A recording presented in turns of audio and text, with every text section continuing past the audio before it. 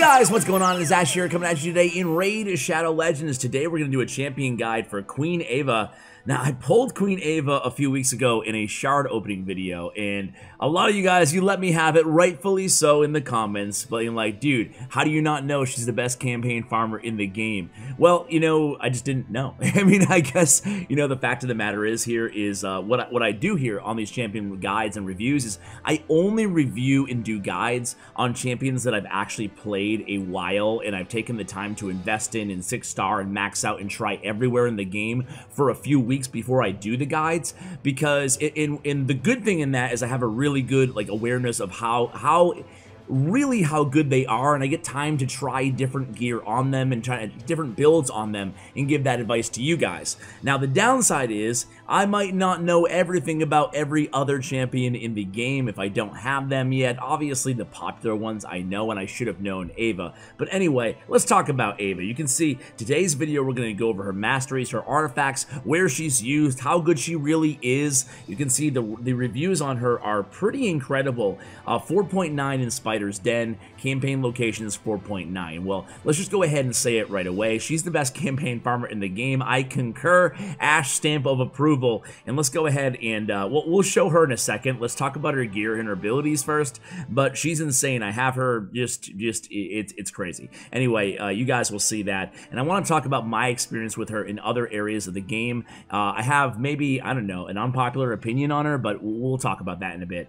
So, uh, Cat uh, Cauterize on the A1. Attacks one enemy, 50% chance of placing 100% reduced uh, heal. Now, I have her booked up. You do not have to book up your Queen Eva. I probably wasted legendary books on her, honestly. Uh, the reason I booked her up is because I wanted to try her as my main nuker in the arena, and I have to say that she's great, but I had better, right? And I'll talk about that in a little bit. Uh, so it was kind of a waste of the books. You do not have to book her up. You don't have to have the cooldown, anything on, on these abilities, and we'll talk about why. Uh, Ancient Curse on the A2 attacks one enemy two times. Enemies killed by this uh, skill cannot be revived, so it's pretty solid in Ice Golem. She's actually really uh, good in Ice Golem. Uh, on an Energy Drain, the ability that she's known for, this is the sick campaign farming ability, okay? Attacks all enemies, decreases the turn meter by 20%, resets the cooldowns of each of this champion's skills if any target is killed. Has an extra 15% chance of inflicting a critical hit. So that's insane. Even if it's not in the 4-turn cooldown, it does not matter because this will reset every time you kill an enemy. You're going to have it up every single turn, and that's all you need, right? That's, that's that's what makes her so special, okay? Her aura is increased crit rate in ba all battles by 19%. That does stack with the energy drain as well if you have her obviously uh, as the main aura, uh, but I don't really know anybody who runs crit rate auras uh, anywhere in the game unless you have nothing else. Uh, let's talk about her masteries really quickly here. You definitely want to just go down to Flawless Execution, get that extra crit damage. It's all about doing as much damage as humanly possible to make sure you're killing something uh, to trigger that third ability on oh, again and again and again and again and again. Okay, that's the that's the whole that's the whole uh, strategy behind her. Okay, and then defense, we're gonna go to delay death, and then we're going to go right down the tree and go to Cycle of Vengeance. Has a 50% chance of increasing, increasing the turn meter by 15% when an ally is attacked with a critical hit. Uh, so that will help her going, obviously, especially if she's killing every time. You want her to go as quickly as possible, especially talking like kind of arena right now. In campaign, it's a little bit, you guys will see how it goes. It's not going to, it's just, it's silly, right? Uh, but that would be what I recommend for you guys in terms of the offense and the defensive tree. So again, the reason we want to go down the defensive tree is because support, you know, a lot of accuracy. It's good for debuffers. She does have the 20% turn meter reduction on the A3. She also has the heal reduction on the A2. Both of those even the turn meter is based on accuracy, so it's nice to have a little accuracy on her, but you don't have to prioritize it as highly as you would to like your main uh, attack down or defense down or debuffers on your team or your poison layers on the team, okay? Uh, in terms of stat priorities, we're going to go ahead and go over to our artifacts here. Uh, let's go ahead and look at, look at my total stats before I show you guys the artifacts. I want to get her attack as high as humanly possible, so 5,765 is pretty good. Uh, speed, I'm not concerned with, and you guys will see why. Crit rate, uh, you know, you could get by with 85% on, on Queen Ava because, again, her third ability has that extra 15% chance, but 100's good too because it works with the A1, the A2. Uh, crit damage, I would like this to be a little bit higher. Maybe I could even trade off a little bit of HP, a little bit of uh, defense, a uh, little bit of attack even to have that crit rate creep up closer to maybe 200% if I'm getting a little greedy. And then the accuracy, I actually have 266. I believe I have an accuracy set on her. I actually do. I have a cruel and an accuracy. Cruel's great because you can ignore the defense. And uh, accuracy, I decided to, I just had the gear anyway that had pretty good attack on it. And I was like, you know what? I want to make sure if I'm not killing an enemy, at least it, for the arena, at least I'm getting that turn meter reduction on that A3. And for ice golems, I want that that heal uh, reduction as well. So that's kind of why I went with the accuracy set. In terms of stat priorities, we want attack percentage, crit rate, crit damage, speed, accuracy, kind of in that order, okay? Uh, so the gear that I have on her, you, I'm just going to let you guys take a look. It's not the best gear that I own on the account, but again, if I could go with, if, if you guys have it, Go with like two or even three sets of Cruel. I think the attack plus and the ignore defense is really solid on her. But you guys can see crit rate, crit damage, accuracy. Thank you very much. Crit rate on the gauntlets, attack on the chest, and attack on the boots. You can go speed on the boots if you want to, but I prefer going attack on the boots uh, with my main attacker. Uh, it works for campaign farming on Queen Ava uh, specifically, and it works fine in the arena because she's going to be going last in the arena, so it's okay if she's a little bit slower, especially if you have a turn meter up in your group, which I do. Okay, so let's go ahead and try her out in the campaigns first. That's what you guys all want to see. Uh, at least that's where she's good, so you should want to see her there. Let's go ahead and take her into Brutal 3, 12-3, uh, excuse me and we're going to put her all by herself there. She doesn't need Shamrock with her. All by herself, and you guys will see how fast she is. She's going to auto onto the A3. I don't have to do anything here. I just sit back and watch, right? Look at it. Boom, boom, and, well, what can I say? Seven seconds. I mean, need I say more about Queen Ava, guys? Need I say more? Is that, I mean, want to watch it again? We can watch it again. Maybe we'll get six seconds. But I don't think we can get any faster than this. I think this is the fastest humanly possible. Boom, resets, boom, resets, boom, everybody's dead again. Well, that's what you call an incredibly fast campaign farmer. Just incredible. Now, she can't do that in Nightmare. I mean, I'm, I'm sure most of you guys are aware of that. She she struggles killing uh, troops in Nightmare, so let's just go ahead and put her with like a random team here. Uh, let's go with getting a uh, uh, no, we already have the attack up. Put there and put like yeah, just kind of put a random team in there. So we'll put her with a team here in Nightmare, and you'll see that she's you know she's still hitting hard and stuff. We have the defense down, and she's gonna kill two, so she'll have her ability back up for the next wave. She's still good. She just can't solo anything. She's, you know, she killed everybody. Okay. See, she didn't kill anybody on her A3 that time. That was her A3 because she pre, uh, she re-procced it on the, uh, the first battle by killing two enemies. But again here, we're moving along but like what like I was saying here is it's just not I mean you're this is not where you're farming anyway so it's cool right uh, you want to be farming on brutal in case you missed my silver guide uh, brutal stage 12-3 is actually better silver for your energy than Nightmare Stage 12-3. So the best stage in the entire game to farm is Brutal Stage 12-3 if you care about energy uh, efficiency. So again here, she's dead now actually. So like I said, I mean, I want to be honest on these champion reviews too. She's awesome, but uh, you don't really want to take her into, we'll win here, but it's not pretty, it's not fast either. You don't want to really take her into Nightmare, uh, or you can with the right team around her, but she's a speed farmer for Brutal, which is where you should be farming anyway. So uh, that's going to be that. There it goes. Let's go ahead and try her out in the arena, guys. And you guys will see. Now, as I was alluding to earlier, I actually don't, uh, it's not that I don't love her in Arena. She's great in Arena as your nuker.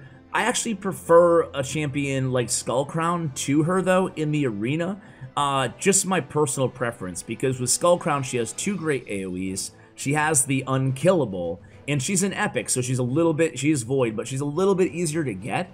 Uh, maybe that she's not even, I don't know, maybe she's not even easier to get, you know, like a, a void epic versus a, a legendary non-void. Uh, either way, I prefer somebody like Skullcrown or or I have Biggin too, so I don't need her in Arena, uh, but she's still good if you don't have another nuker on your entire team, right? So let's go ahead and just choose some teams here. I'm to take out Biggin and put her in instead.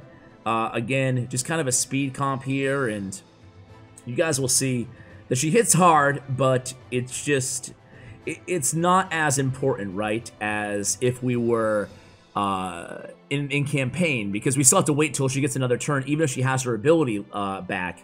It's just not as helpful, right? We're going to put everybody to sleep here just so we can make sure we go next. Maybe we can land a stun or two here. Oh, look at that. She can't even get a chance to go because I think we're going to have to actually take out uh, Trunda because she's too good.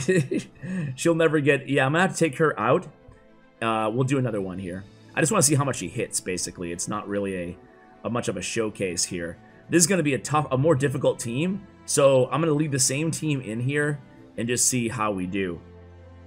Dude, Rotos, the Lost Groom, is insane in Arena. I'm sure you guys have seen him. If you haven't, well, that's really good because he's... This whole team is so scary that we're going against here. Like, yeah, super scared. We will go next, so what I want to do... And I'll take the shields off. Alright, let's see if we can land some stuns here.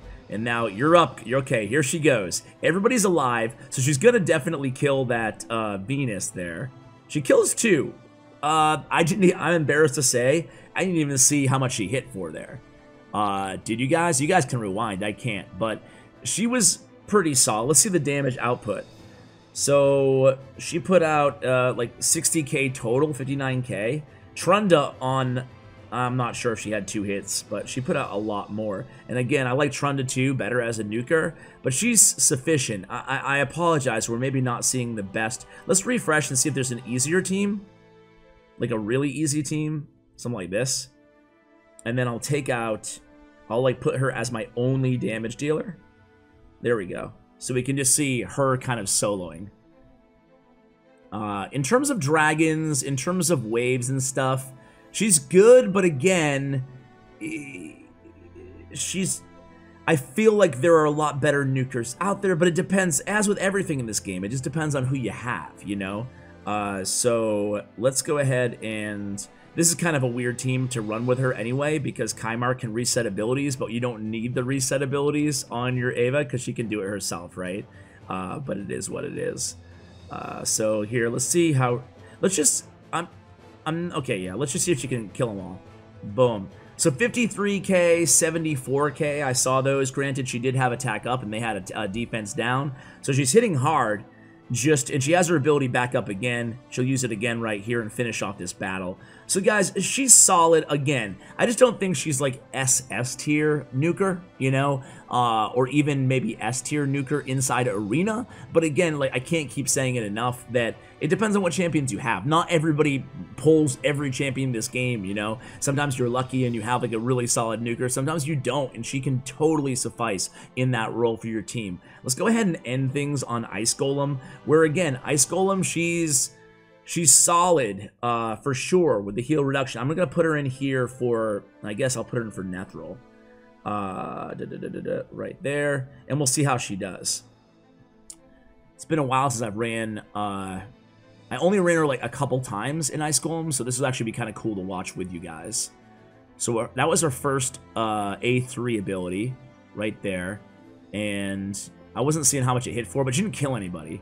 So again, she's never on Ice Golem 20. And again, I should mention this, right? Is that on Dragons like 15, on Spider, and I'm sure a lot of you guys are like, why aren't you trying her in Spider? Because she's not really fit for Spider's 20, at least with what I'm trying to do. Spider's 20 is all about not killing the Spiderlings, and she's all about killing them to proc additional turns.